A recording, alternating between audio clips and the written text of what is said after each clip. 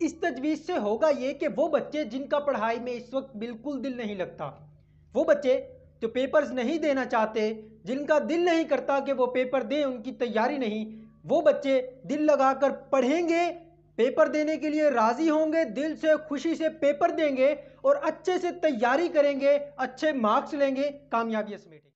असलम मैं Syed Shafat Ahmed as a teacher हुकूमत को बच्चों के मसाइल के हवाले से एक बेहतरीन शानदार तजवीज़ पेश करना चाहता हूँ। आप जानते हैं कि लॉकडाउन की वजह से, कोरोना वायरस की वजह से तालीमी इदारे बंद हुए, बच्चे स्कूल नहीं जाते थे, घरों पर महसूर होकर रह गए, बच्चों का अब पढ़ाई में दिल नहीं लगता।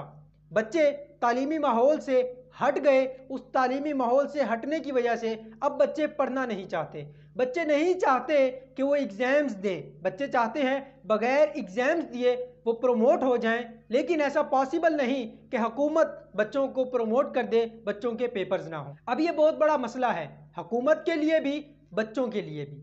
बच्चों ने पेपर्स देने हैं, बच्चों का पेपर देने का दिल नहीं है। हमारी हुकूमत को ये काम करना चाहिए कि बच्चों के लिए स्कॉलरशिप्स का ऐलान किया जाए। बच्चों को laptops tabs solar lamps fee concession cheques और दीगर सहूलियात दी जाएँ ताकि बच्चे स्कॉलरशिप्स हासिल करने के लिए।